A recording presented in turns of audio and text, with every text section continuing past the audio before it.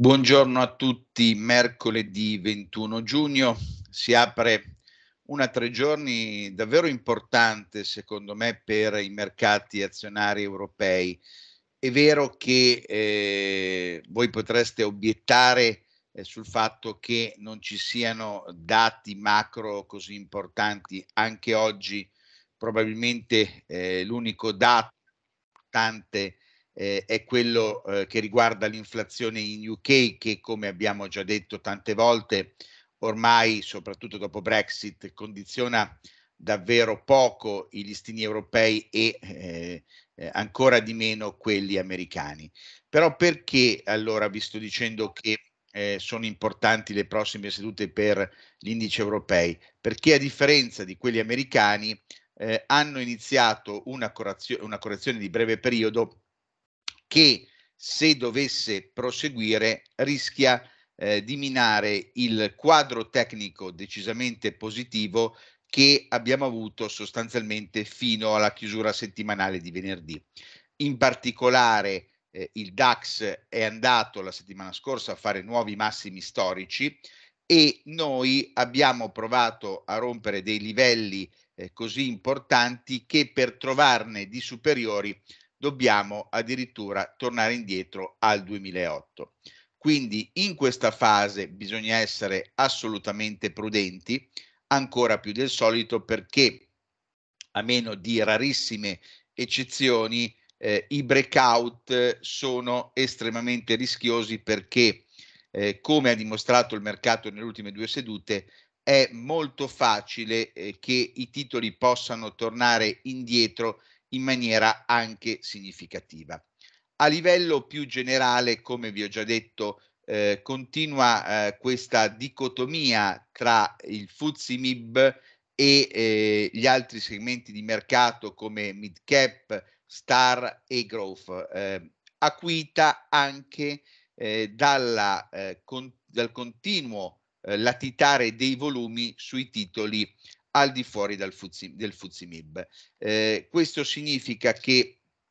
purtroppo anche qui eh, dovremmo verificare tante situazioni, io tutte le sere eh, cerco di farvene vedere qualcheduna, eh, relative ad aziende che continuano a fare minimi su minimi, mi viene in mente eh, meglio questo, a fronte di dati di bilancio comunque non così disprezzabili. Per cui i casi sono due, o c'è qualcosa che non va eh, nel mercato dei titoli sottili ed è quello per cui propendo io, o bisogna veramente mettere in discussione alcuni bilanci. Come sapete, alcuni io mi sono sempre schierato, eh, mi hanno sempre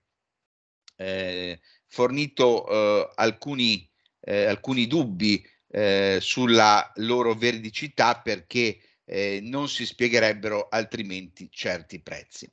Però eh, manteniamo la calma, cominciamo come al solito la nostra analisi dagli indici americani che come vi ho detto sono in una situazione abbastanza eh, diversa perché se consideriamo che il più debole è il Dow Jones, tutto sommato anche ieri fa comunque un ammerino dopo un minimo intraday a 33.915 andando a chiudere a 34.053 credo che per le prossime sedute dovremo tenere conto di questo 33.783 che vi ho già detto e poi della media mobile a 50 e 33.604. Diciamo che non vedo al momento la possibilità di, di, superare i massimi di periodo di 34.588, ma difficilmente vedo il Dow sotto 33.604. Eh, Standard Poor ancora meglio perché ricordiamo come il 2023 si sia dimostrato eh, anno eh, opposto al 2022 con Nasdaq soprattutto ma anche Standard Poor decisamente sovrapperformanti rispetto al Dow Jones. In questo caso eh, il minimo di ieri eh, pur essendo stato abbastanza profondo, 4.367, ma poi eh, eh, ha chiuso a, 3, a 4.388, non è andato sotto il 4.362 che è il livello chiave di breve. Sotto avremo un 4.337 e poi area 4.300. Diciamo che se anche ci fosse una correzione fino in area 4300 non sarebbe uno scandalo. Nasdaq in questo caso dopo eh, la brutta seduta eh, di lunedì eh, sta andando a cercarsi il supporto più importante per il breve eh, periodo, questo è il Nasdaq Composite che è il 13.456, sotto avremo 13.302, 13.229 e poi 13.089. Guardiamo anche il Nasdaq 100 che in questo caso eh, è probabilmente il paniere più forte di tutto il mondo, quantomeno occidentale, 4.000, eh, 14.770 il livello chiave per il breve, sotto 4.671, 571, 4.487 e poi 4.314, 4, eh, 14.284. Eh, eh, considerazione sui indici americani. Eh, come vi ho già detto per il Dow, non credo adesso che avremo eh, la possibilità di nuovi massimi di breve periodo, però allo stesso tempo le correzioni che possono iniziare sono assolutamente fisiologiche e non dovrebbero eh, estendersi oltre i livelli che vi ho detto perché fondamentalmente sono eh, movimenti di consolidamento per scaricare l'ipercomprato. DAX, vedete il DAX purtroppo dopo aver fatto massimo storico venerdì ha iniziato una fase di correzione già abbastanza pronunciata perché dal massimo storico di 16.427 ieri siamo andati a 16.069 ma quello che preoccupa è che eh, la possibilità di ulteriori ribassi è abbastanza concreta fino almeno a 15.945 e poi abbiamo quest'area di supporto eh, poco sopra eh, 15.900. Eh, eventualmente potrebbe estendersi questa correzione a 15.735, 15.629. Per quanto riguarda il CAC, invece, eh, eh, la forza relativa dell'ultimo periodo è stata sicuramente inferiore dopo il massimo del 19 eh, di maggio a 7523 e addirittura quello storico del 24 aprile a 7501, vedete questi massimi eh, eh, decrescenti e eh, in questo caso per le prossime sedute avremo eh, 7246, 7244 e poi probabilmente 7171. Eh, Eurostox, anche qui eh, l'impressione che possa proseguire nella fase, sono comunque consolidamenti eh, di correzione, 4.316, 4.291, la media mobile a 100 è 4.279. Eurostox Banks, eh, altra candela di eh, indecisione, una sorta di eh, doji, eh, in questo caso siamo nelle ultime 5 sedute in un range strettissimo, 103.34, 106.25. Fuzzi Mil Futures, vedete che sta lateralizzando sui massimi di periodo. Vi ho già detto che il livello chiave per il breve è secondo me 27.555, potremmo estenderlo a 27.540 sotto abbiamo tutta una serie di minimi 27.365, 27.240 e poi qui eh, c'è la media mobile a 50 a 27.115. Eh, sintesi sugli indici europei, non ancora mh, nulla di preoccupante, però sicuramente eh, meno eh, prestazionali, meno performanti rispetto agli indici americani e sarebbe importante che eh, non venissero persi dei livelli eh, chiave per il breve, per noi diciamo 27.540 perché? Perché si allontanerebbe di molto la possibilità in questo caso di andare a fare nuovi massimi. Diamo uno sguardo ai futures,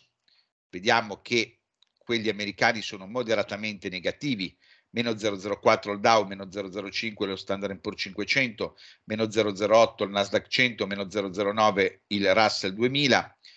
il DAX è più 0,10, l'Eurostox è sulla parità,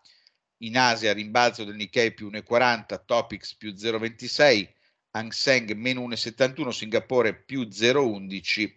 Cospi meno 0,81. Dati macro, vi avevo già anticipato come oggi il calendario fosse piuttosto povero, è uscito proprio adesso il dato sull'inflazione eh, in UK e devo dire che purtroppo è un dato piuttosto negativo perché l'inflazione era attesa in calo all'8,4%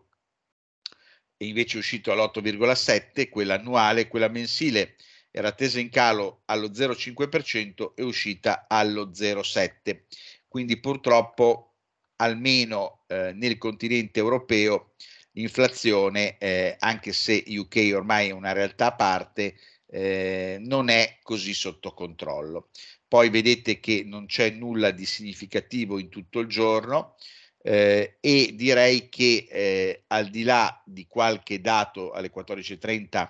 del Canada, che però, come vi ho già spiegato tante volte, è più o meno eh, come per i dati UK, non, non condiziona le borse europee e nemmeno la, la borsa statunitense, c'è la testimonianza di Powell.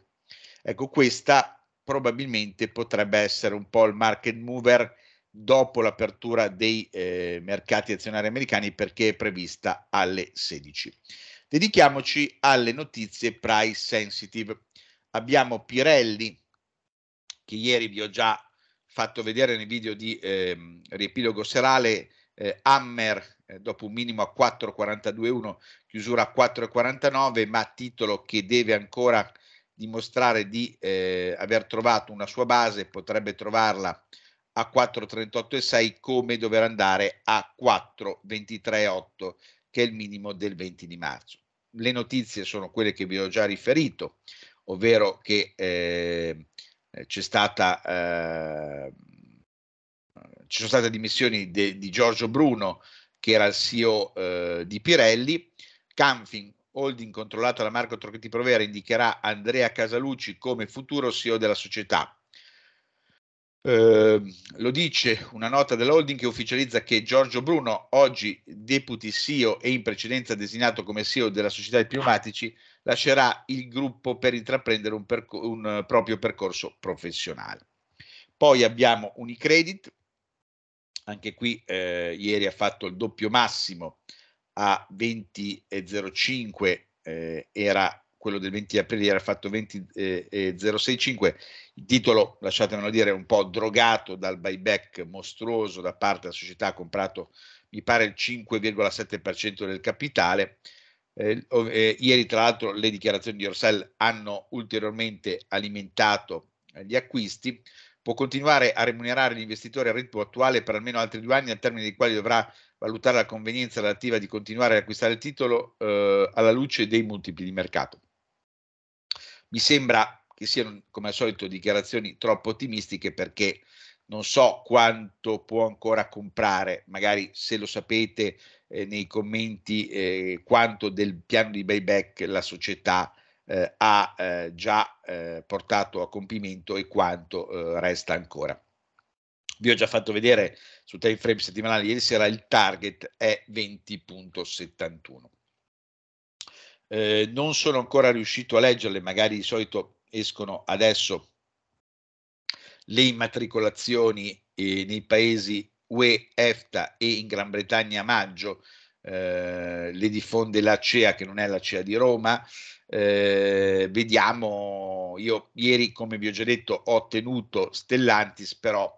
eh, ha chiuso sul supporto eh, perché eh, vedete 15,374 eh, chiusura 15,38 però oggi se dovesse perdere anche la media mobile a 50 15,275 probabilmente sarò venditore del titolo eh, poi si parla di Brembo che tra l'altro vuole eh, spostare la sede legale in Olanda. Eh,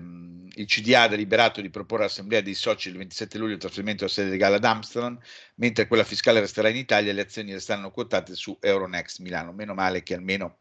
eh, le, eh, la quotazione rimarrà in Italia. Eh, comunque, dopo questo bellissimo breakout del 13 di giugno,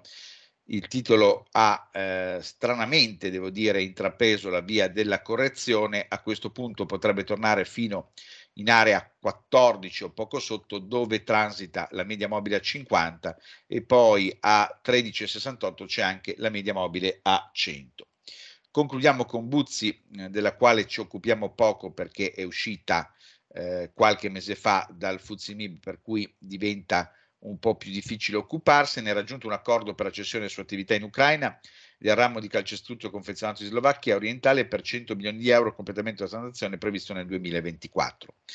Eh, io mh, questa fase sinceramente la vedo più come a rischio distribuzione. Anche ieri ha fatto un minimo abbastanza profondo 22,08, poi è riuscito a chiudere a 22,48 quasi con una Dragonfly recuperando la media mobile a 50 che è 22,32. Il livello chiave ovviamente che non deve perdere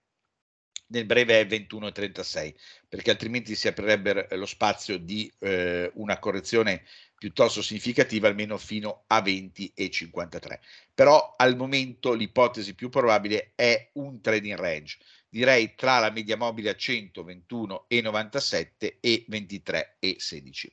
ultima nota mh, perché eh, comunque è un'azienda che fa ritorno in borsa dopo direi più di dieci anni, un'azienda molto importante nel settore nautico in Italia. Eh, Borsa Italiana ha disposto la missione delle azioni ordinarie di Ferretti all'Euronext Milan. Il titolo è ancora quotato alla borsa di, di Hong Kong, quindi Ferretti eh, sarà in borsa tra pochi giorni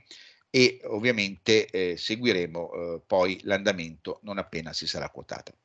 Eh, per questa mattina ho concluso, auguro buon trading a tutti e noi ci aggiorniamo dopo la chiusura del mercato diurno.